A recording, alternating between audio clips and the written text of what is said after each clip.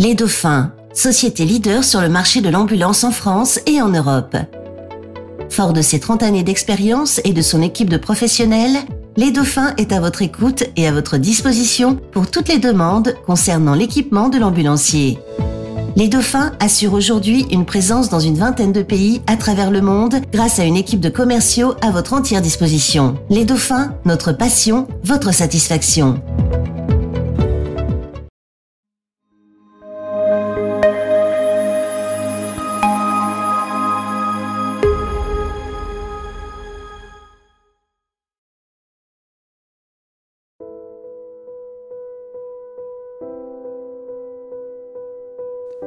Tem 524 anos, sendo por isso um dos locais de culto mais antigos da Europa.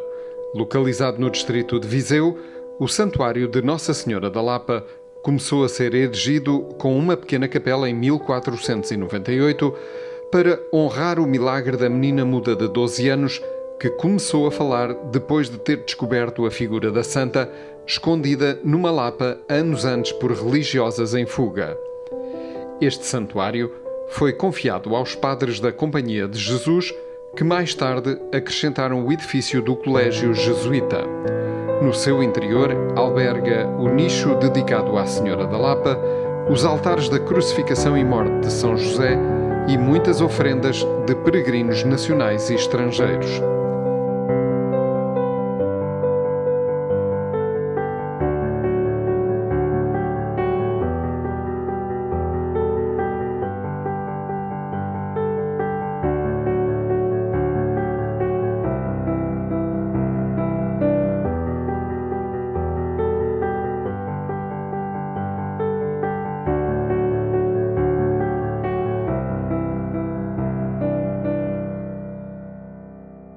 Quando nós conhecemos bem a história deste santuário, ah, tem, muito, tem um sentido muito importante, especialmente para aquelas pessoas que têm uma certa devoção a Nossa Senhora, a Maria. E a história, na verdade, deste santuário pode aplicar-se a muita gente que tem passado algumas certas situações na vida e pela intercessão de Maria, de Nossa Senhora da Lapa, vem cá e com aquela fé, com aquela confiança, sente-se muito melhor.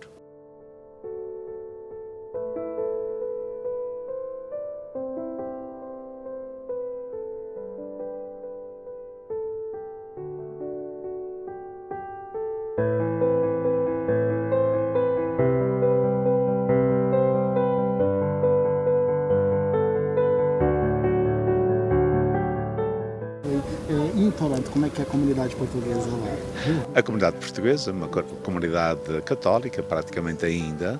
Ah, na área de Toronto temos à volta de 400 mil portugueses. Né? Ah, toda essa gente já viveu na cidade de Toronto. E a continua a viver as suas culturas, as suas tradições, especialmente ao nível religioso. Estão muito enrasados nas suas tradições e, e, e coisas piedosas da sua religião. Sim, sim, sim, ainda muito, muito, muito. De 400 mil, praticamente 200 e tal mil ainda vão à igreja ao domingo, que é um bom sinal. É um bom sinal para a igreja. Para a né? igreja e para a comunidade de fé também.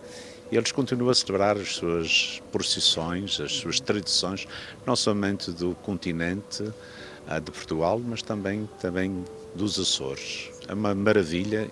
O Canadá ainda é um país que dá oportunidade a, nós de vivermos as nossas tradições de uma maneira ou de outra, não só de cultura, mas também a um nível religioso.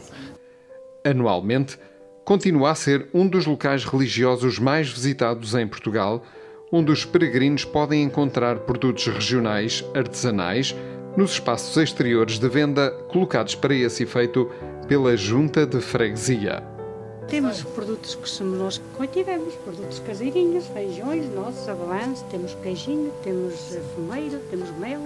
E é tudo a senhora que fabrica? Sim, é, aqui só podemos vender coisas é, do caseiras, mesmo, caseiras né? mesmo. O nosso presidente da junta, quando cá pôs as barraquinhas, foi mesmo para, para vendermos só coisas regionais.